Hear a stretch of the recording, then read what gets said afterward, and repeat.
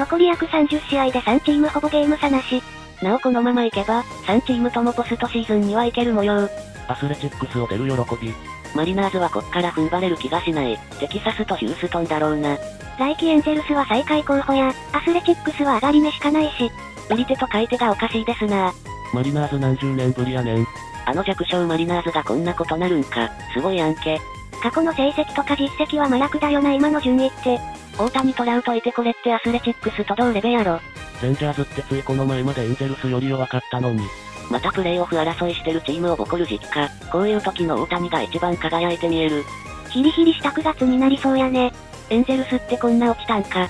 ポストシーズン狙えないのに、医者にストップかけられてたのに、無理やり投げまくったのなぜなぜ？世界一面白いリーグに所属している、世界一つまらないチーム。なおエンゼルスは除くものとする。エンゼルス惨めすぎるだろこんなの。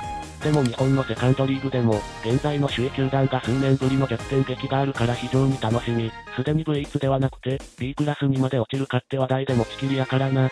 前半のマリナーズが大こけした結果、エンゼルスが夢見ちまったんだ。三強二弱。日本人も全く興味がなくなったアスレチックス。そら藤波がいるからアスレチックスを話題にしてただけで、いなくなったら何の興味もなくなるよ。マリナーズがポストシーズン行けるなら、エンゼルスだってそのうち行けるかもしれんやん。下手に競合行って勝っても楽しくないやん。